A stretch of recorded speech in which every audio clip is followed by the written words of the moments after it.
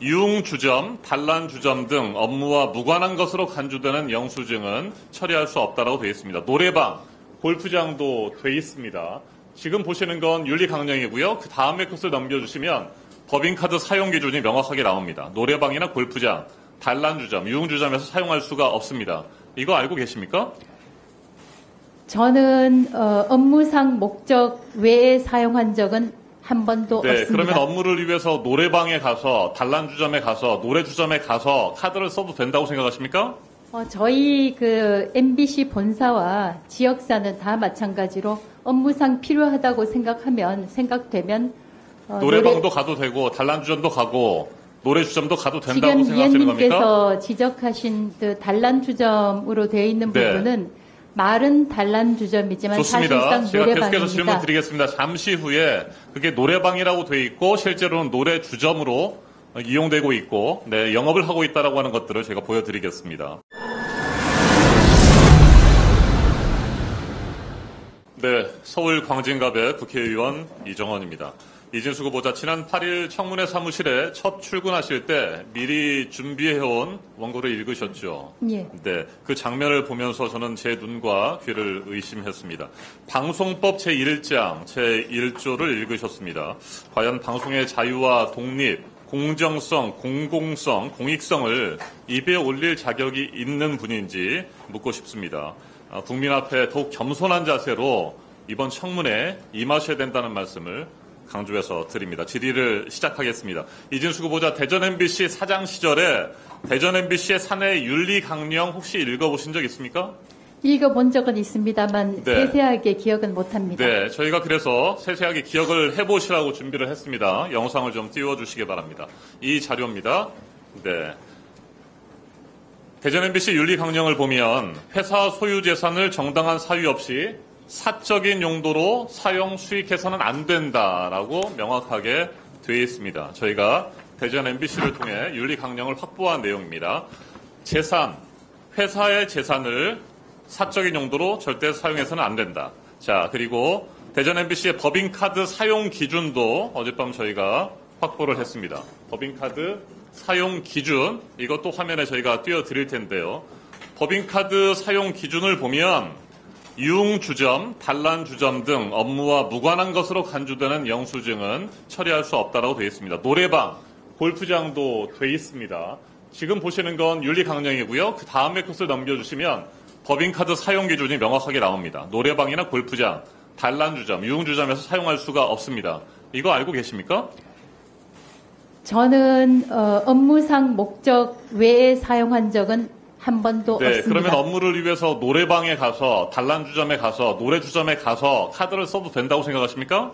어, 저희 그 MBC 본사와 지역사는 다 마찬가지로 업무상 필요하다고 생각하면 생각되면 어, 노래방도 노래- 가도 되고 단란 주점도 가고 노래 주점도 가도 된다고 지금 생각하시는 겁니까? 위원님께서 지적하신 그 단란 주점으로 되어 있는 네. 부분은 말은 단란주점이지만 좋습니다. 사실상 제가 계속해서 질문 노래방입니다. 드리겠습니다. 잠시 후에 그게 노래방이라고 돼 있고 실제로는 노래 주점으로 이용되고 있고 네, 영업을 하고 있다라고 하는 것들을 제가 보여드리겠습니다.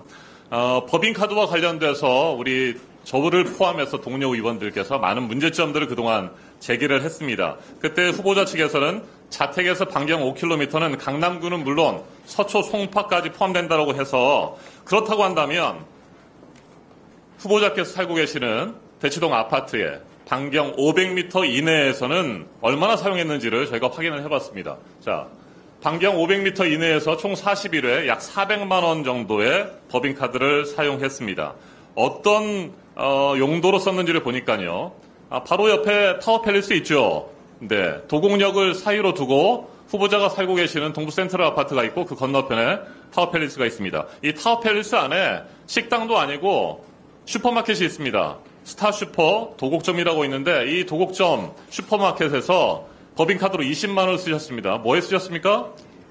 이것을 이제 사적으로 시장을 발- 보지 않았나 이렇게 주장하는 분이 계시는데요. 예, 아니요. 답하십시오. 사적으로 썼습니까? 안 썼습니까? 사적으로 쓰지 않았습니다. 사적으로. 단 만 원도 쓴 적이 없습니다. 그렇습니까? 자, 그러면 2017년 당시에 보리밥집에서 여러 차례 소액 결제를 하셨습니다. 그 다음에 넘겨주시기 바랍니다. 저희가 2017년 당시 해당 식당의 메뉴판을 저희가 입수를 했습니다. 12,000원짜리 결제를 4차례 정도 했고요. 소액 결제를 여러 차례 했습니다. 그래서 도대체 12,000원을 어떻게 쓰셨을까 보니까 황태구이 정식 12,000원, 고등어구이 정식 12,000원, 보쌈 정식 12,000원입니다. 이건 혼자 먹을 수 있는 거죠. 12,000원을 결제했으니까. 한 사람이 먹은 겁니다. 한 사람이 거기서 먹으면서 업무와 관련된 미팅을 하신 겁니까? 때로는 수행기사가 따라오겠죠. 네. 제가 다른 곳에서 업무를 보는 동안 수행기사가 식사를 하는 경우가 수행기사가 있습니다. 이런 경우 식사를 하거나 후보자께서 혼자 식사를 할 때 법인카드를 사용해도 됩니까? 사용할 수 있습니다. 사용할 수 있습니까? 그 다음에 저희 영상을 한번 보여주십시오. 저희가 법인카드 사용 기준을 다시 한번 확인해 봤습니다. 법인카드 사용 기준에는 개인 비용분은 반드시 개인 신용카드를 사용하도록 되어 있습니다. 법인카드 사용을 할 수가 없습니다. 법인카드를 개인카드처럼 쓰면 됩니까?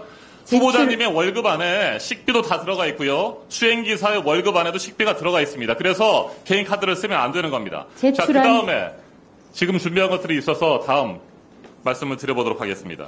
자, 12,000원짜리 식사를 하면서 보리밥집에서 업무상 미팅을 했다라고 하는 이야기를 우리 국민 누가 납득을 할 수가 있겠습니까?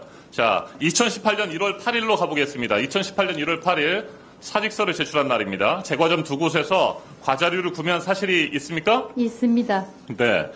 이 과자를 사서 누구에게 줬습니까? 제가 이미 보도자료를 통해서 밝혔고 이 자리에서 이 금액을 좋습니다. 어떻게 썼냐 자, 답변하지 대전 MBC. 직원을 저희가 만나서 인터뷰를 땄습니다. 이 영상을 한번 들어보시죠. 제과점에서 제 과자를 사서 그것도 서울과 대전에 있는 제과점 두 곳에서 과자를 사서 했다라고 직원들이 줬다고 하는데 영상 준비됐습니까? 네, 들어보시죠. 볼륨을 좀 키워주십시오. 저희로서는 네, 극비단 동안 사장 역할을 안한 거잖아요. 마지막 한 달 동안 거의 안 하는 상황이었는데 네, 출근도 안 하는데 법칙을 썼다는 거는 그쵸 말이 안 되죠. 본인은 계속 해명을 어, 그 논리를 만들어내는 거고 굉장히 생각했어요. 근데 인상스럽게 본인이 그런 식으로 반박을 할 수 있구나. 사임하기 한달 전부터 이제 회사에 나오지 않았고 이건 이것도 사실이잖아요. 그 리포트 보여드리는 것처럼 아예 구경 못했던 걸 기억을 하고요. 서울에 사서 기사를 통해서 이제 뿌렸다. 그럼 결국 이거 받은 사람이 또 있을 거 아니에요. 지금 이런 받은 사람이 있다는 이런 내용도 또 있나요? 누가 이런 걸 받았다. 전체 직원들한테 좀 그런 걸 하면 소문이 나잖아요. 네. 회장이든 누구든 모르는 네, 좋습니다. 여기까지 듣겠습니다. 분명히 어, 제과류를 사서 직원들에게 나눠줬다고 하는데 그 제과를 받았다라고 하는 사람 한 명도 없습니다. 이것을 명확하게 주장대로 어, 계속 하시겠다고 한다면 누구한테 줬는지를 말씀을 해주셔야 되고요. 저희가 노래방과 관련된 현장 취재를 좀 했는데 추가 질의 예, 추가 질의 하십시오. 예, 예. 이정원 의원님 수고하셨습니다.